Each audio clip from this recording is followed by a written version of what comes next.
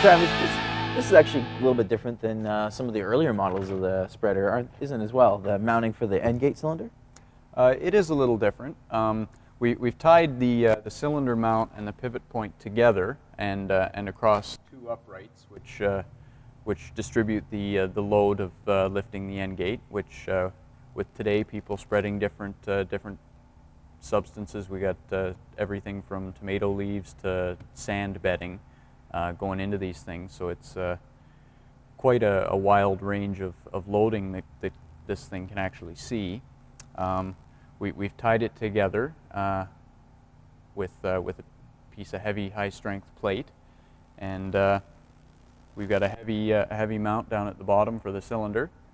Um, this is all fairly open and clean so again we don't get uh, buildup of, uh, of rust and no sharp corners for, for uh, cracks to start and uh, nice, uh, a nice strong elegant design looks really good anyways. I think so too.